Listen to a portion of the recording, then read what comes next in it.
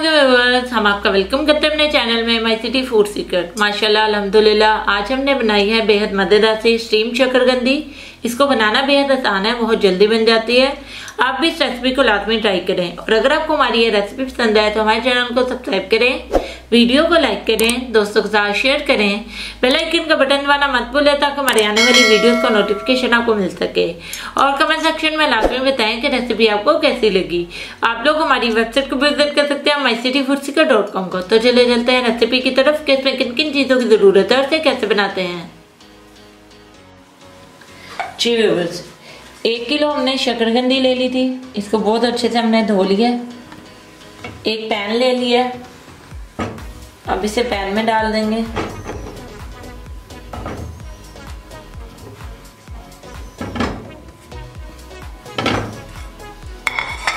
आधा कप इसमें पानी डाल देंगे।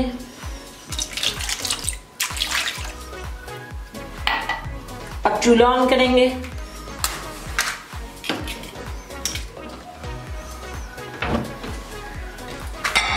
इसे कवर कर देंगे। और 15 से 18 मिनट तक इसे स्टीम में पकने देंगे। तकरीबन 18 मिनट हो गए, इसे हमें बिल्कुल लो फ्लेम पे पकाते हुए अब ढक्कन उठा लेंगे। एक छुरी लेके इसे चेक कर लेंगे। इसका मतलब ये बिल्कुल तैयार है। अब हम चूल्हा बंद कर देंगे और इसको एक प्लेट में निकाल लेंगे।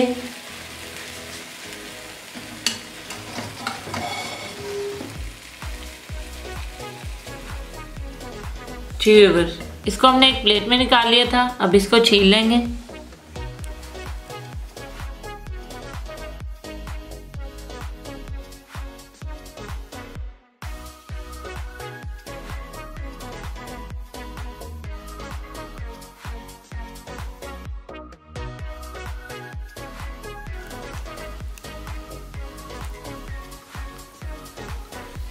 जी एक हमने छीली है, इसी तरीके से हम बाकी भी छील लेंगे। जी वीवर शकरगंदी को हमने अच्छे से छील के स्लाइसिस में काट लिया। चाट मसाला लेंगे हम। वन फोर टेबल स्पून इसको हम स्प्रिंकल कर देंगे।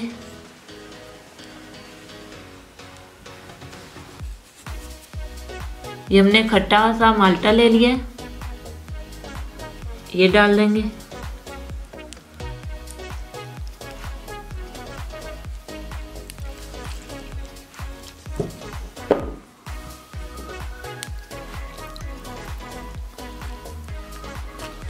और हमारी बेहद मज़ेदार सी स्टीम शकरगंदी बनकर बिल्कुल तैयार होगी है। इसको बनाना बेहद आसान है, बहुत जल्दी बन जाती है।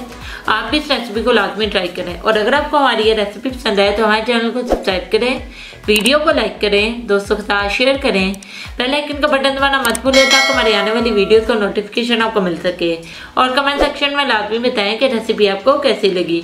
आप लोग हमारी वेबसाइट को विज़िट कर सकते हैं माई सिटी फ़ूड को। तो मिलते हैं नई वीडियो में नई रेसिपी के साथ। हाफिज़।